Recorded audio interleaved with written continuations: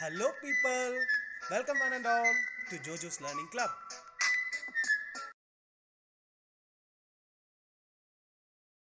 Hello guys, I'm back again. So this is a continuation lecture video on the video indices and standard form. So today I'll be discussing on standard form. Standard forms are the forms when it is written in the form one number to the left of the decimal point. So I'll show with an example.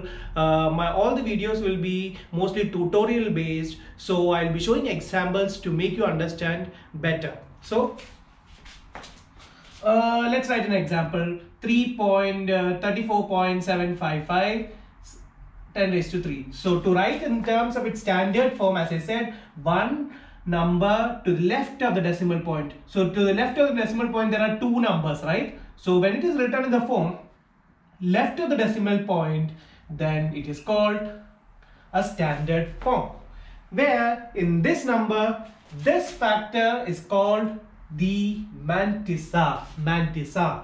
And this factor is called the exponent.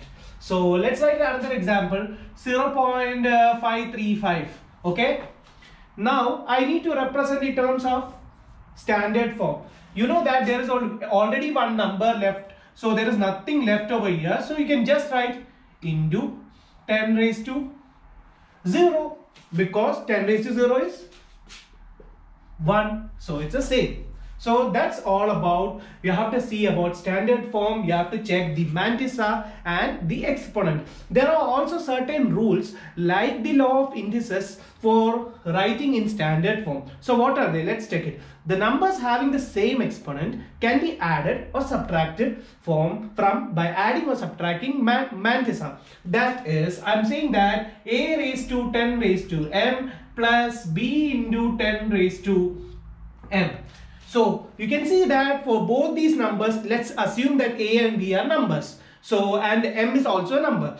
For both these um, numbers, we know that they both have the same exponents. Check it, 10 raised to M. So you can group it together and just do the calculation A plus B. So this is what it is said by the rule was rule number one the numbers having the same exponent. So the numbers having the same exponent and can be added or subtracted. So when they have same exponent it can be added or for subtraction also it applies the same rule. I'll be showing more through uh, tutorial section. So the next problem would be b. Law of indices can be used when multiplying or dividing numbers in the standard form.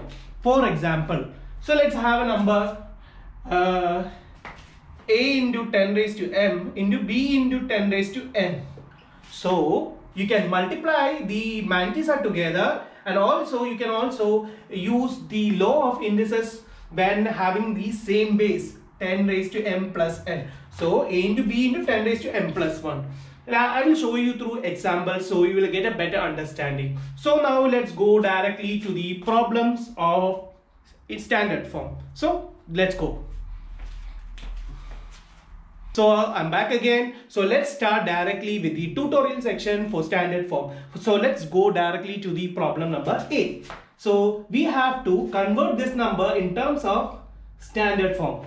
Please recollect what I said. As in standard form to write, you have to write one the number to the left of the decimal point. So it should be in that form. So here there are two numbers. So you can't express and there is no exponent for it. So what you do, you just divide the number by 10 okay? So it becomes 3.871 into 10 how did you get this answer? You actually to make it into a decimal point you mul multiply and divide by 10 so now this number becomes 3.871 and which is 10 raised to 1 i hope it's clear. And next go to the same problem okay? So b 4576 this number I have to convert into standard form. So there should be four numbers. There is no decimal point. You can append zero. So this is actual meaning of this number is like same as putting a decimal point and appending how many zeros you want.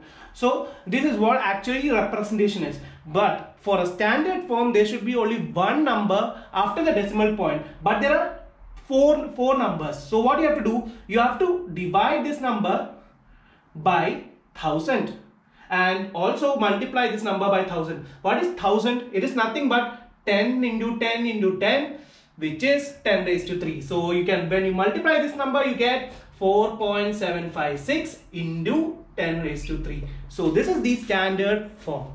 So I hope the problem number A and B is clear. And now let's do the problem number C. Express the number in decimal number. So let's write the decimal number first. 1.725 into 10 raised to minus 2. Which kind of form is this? This is a standard form and now you have to convert this standard form into a decimal number. So before that, let's remove all this exponent by what is 10 raised to minus 2? It is 1 by 10 square which is nothing but it is 100. So you just have to divide this number by 100 to make into decimal number. So when while you divide, you know that two points, there is only one point. So you append 1, 0 and 1, 7, 2, 5. So this is the final answer for the problem number C. And now the next problem D. Express in standard form. So number is there 3 by 8 and you have to express that number in terms of standard form. So let's do the calculation for 3 by 8. 30 you append a 0 and you put a 0 over here decimal point over here. 8 3s are 24 and here 60 60 again goes 8 7s are 56 and 40 so it is 0 0.375 0.375 is what? It is the decimal fraction. But what do we want? We want to write it in terms of standard form. Standard form is nothing but you have put a decimal you put a number to the left.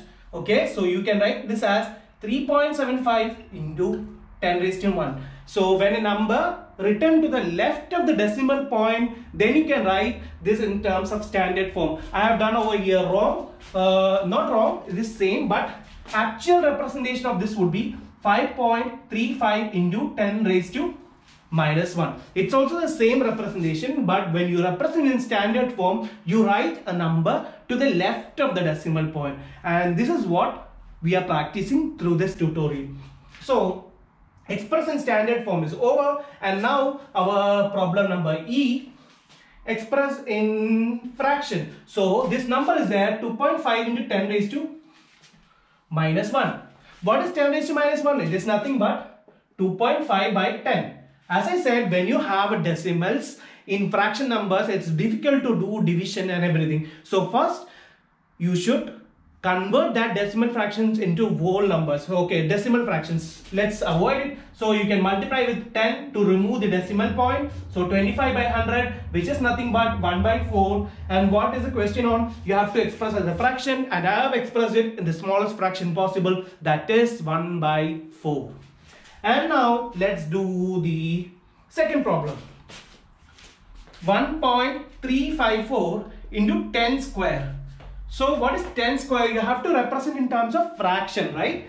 So you know that 1 pi 1.354. So 10 square is 100. So 1.354 into 100 is 1354.4.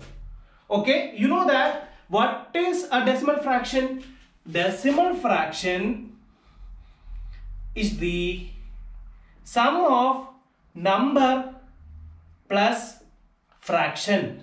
So let's take 135.4. You can write it as 135 plus 0.4, right? Is it right? So now we can write, but you know that 0.4 is what? It is nothing but 4 by 10 or 4 by 10 is what?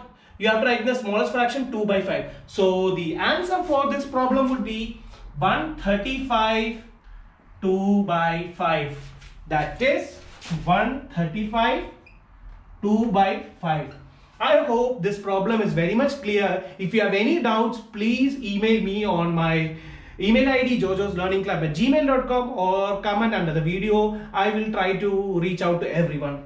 So that's all for the problem number E. And now let's do our final problem. H. Express the answer in standard form. So we have to express this in standard form. So recollect all the rules for calculating in standard form. Their mantissa to get to add their mantissa, their exponent should be of the same form. But we know that here the exponents are different, right? 10 square, 10 cube. So what you will do, uh, you can make one number so that their exponents are the same. So here you can write 0.9293 into 10 raised to 3. It is the same as 9.293 into 10 square. So you can write like this and here 1.3 into 10 raised to 3. So what happens now? Their in exponents are of the same value. Check it. Their exponents are same. Now we can group together into and write 0.9293 plus 1.3. So we need to calculate what it is. 0.9293 plus 1.3. As I said, when you add two decimal fractions, when you don't have enough numbers after the decimal point, you just have to append zeros with it. So 1, sorry, so I have to start from here. So 3, 9 and here 2, it is 12, 2.2293. So 2.2293 into 10 raised to 3.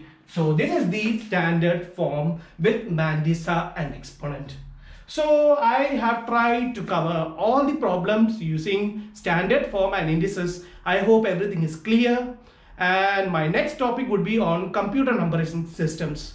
So please feel free to reach me out at my email ID or just comment under the video. So that's all for today and see you on my next video.